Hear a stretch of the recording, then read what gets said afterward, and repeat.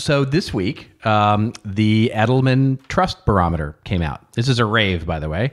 Um, and I have been, uh, I mean, I just am such a fan of this study that they have done for 21 years.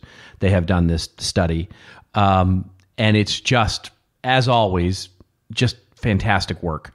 Um, so kudos to Edelman for for getting it done again, um, and uh, some really some just some insights that I think are, are are are the most important here as we begin 2021 and think about things as a marketer and as content people. Um, business. So this is the headline for me. It's the headline. It's not the headline of them, but but, but for me, it's the headline.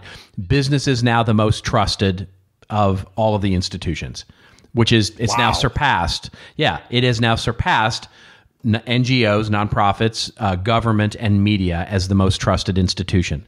And we've said it for two years on this show that there is an opportunity here because the bar is so low with trust um, that you know your CEO, your technical expert, your um, you know your expertise is can be you know a a huge piece of creating value for consumers, even more so than mainstream media well, now we're more trusted. Businesses is more trusted than mainstream media.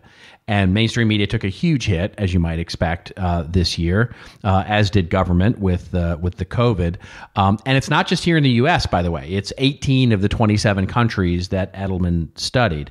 Um, now, further, business is the only institution in their research that, that they found that is seen as both competent and ethical. In other words, NGOs uh, are seen as highly ethical but have low competency. Government is seen as both incompetent and unethical, and media is seen as eh, fairly incompetent and fairly unethical. Business is the only one that's in the upper right quadrant, which is both you know competent and ethical.